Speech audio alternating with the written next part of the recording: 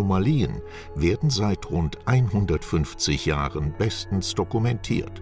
Doch die Ignoranz der vielen Mainstream-Forscher gegenüber diesen Phänomenen und der Zeitgeist verweigern einen offenen und erweiterten Blick in diese unbekannte Wirklichkeit. Dennoch gibt es mutige Forscher, welche diese paranormalen Ereignisse nicht bloß als Hirngespinste abtun, sondern versuchen, sie zu untersuchen. Ja, es ist natürlich schon etwas ungewöhnlich, dass man als Naturwissenschaftler und Technikwissenschaftler plötzlich auf die Idee kommt, ich erforsche jetzt mal Jenseitskontakte. Ähm, da muss also irgendwas passiert sein. Ja? So von alleine kommt man nicht auf die Idee und man läuft ja eigentlich auch viel mehr Gefahr, wenn man mit sich, äh, sich mit solchen Dingen auseinandersetzt, äh, dass man für ja, verrückt gehalten wird, dass man seine Reputation aufs Spiel setzt. Ähm, dann fragte ich ja, ähm, wie kommt es, äh, dass Sie hier also unsere Sprache, also die Luxemburger sprachen auch Deutsch, äh, unsere Sprache eben so verstehen und damit kommunizieren können. Ja, darauf antwortete er, ähm, ich spreche alle Sprachen dieser Welt. Also dieser Zeta Reticulianer, der ähm, behauptet, äh, auch eine menschliche Inkarnation äh, gehabt zu haben vor ähm, etwas mehr als 100 Jahren und ähm, er tritt auf als tibetischer Mönch und so sieht er auch aus. Das heißt, eine kleine äh, Person mit entweder Glatze oder äh, sehr kurzen, stoppeligen Haaren. Wir hatten ihn schon in, mit verschiedenen Haarlängen.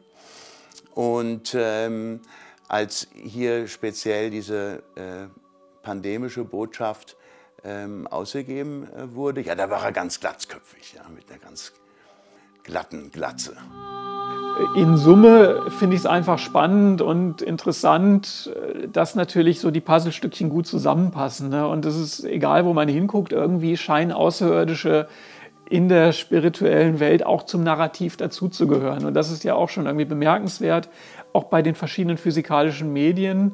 Es ist jetzt nicht so, dass der Kai irgendwie UFO-Fan ist und daher müssen dann bei ihm Außerirdische kommen, sondern auch auch ein Warren Kaler beispielsweise berichtet von außerirdischen äh, Wesenheiten oder also das ist, gehört irgendwie zu dem, was da so an, an Weltmodell oder metaphysischen Oberbau sich präsentiert, scheint es, egal welche Quelle man anzapft, es gehört irgendwie wie selbstverständlich dazu. Und das kann man das mal zur Kenntnis nehmen.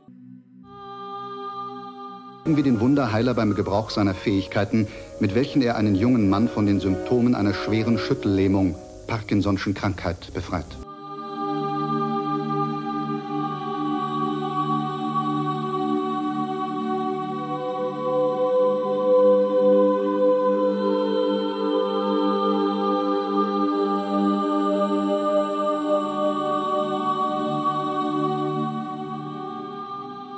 Der Johannes, so hieß dann der zweite Sohn, der hat ein Foto gefunden ähm, von seinem kleinen Bruder, der damals äh, gestorben ist als Frühgeburt. Und er meinte dann, ohne dass er je was von dieser Geschichte wusste, er hat dann seiner Mutter erzählt, dass er das war und dass er sich noch ganz genau erinnern kann, wie, ihn, wie traurig die Mama war und dass sie ihn nicht gehen lassen wollte, aber er musste noch mal gehen, ähm, um dann eben als Johannes wiederzukommen.